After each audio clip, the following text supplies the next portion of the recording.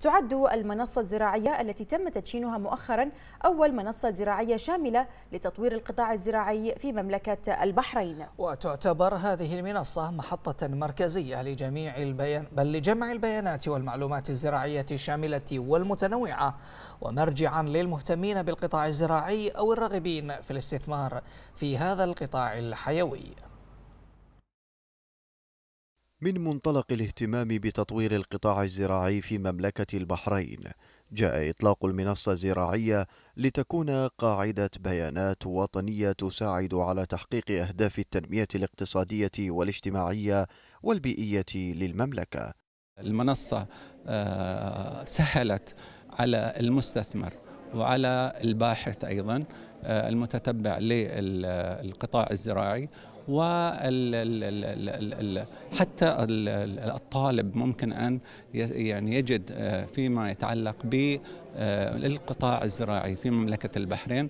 آه، سهلت أيضا المنصة الوصول إلى البيانات. آه، نراها أن أيضا اشتملت على آه، بعض الابلكيشنز اللي اللي موجودة ممكن آه، من خلال الوصول إلى البيانات الجغرافية المكانية والمعلومات عن المناطق الزراعية في البحرين. تأتي مشاركتنا في مشاركة بسيطة آه، في مجال القوانين والتشريعات آه، المنصة كجزء من المضامين التي تضمنتها هذه المنصة جاءت متكاملة بحيث أنها احتوت على آه، أمور متعددة بدءا بالقطاع الزراعي الترويج عن هذا القطاع كيف يستفيد منها الإنسان آه، على المستوى المواطن المحلي والمستثمر تشمل كافة الأمور المتعلقة في النواحي التربة والأمور الجوية الأحوال الجوية المتعلقة بالظروف الموائمة والملائمة للقطاع الزراعي.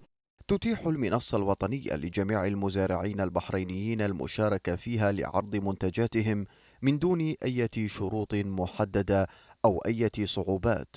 إلى جانب ذلك توفر الفرصة للمهتمين بالاستثمار بالقطاع للاطلاع على البيانات والمعلومات الزراعية المتنوعة.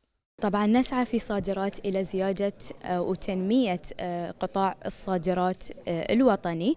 وإن شاء الله من خلال من خلال تدشين هذه المنصة بيكون في زيادة في الصادرات وتنميتها بالاضافه إلى الاستثمارات.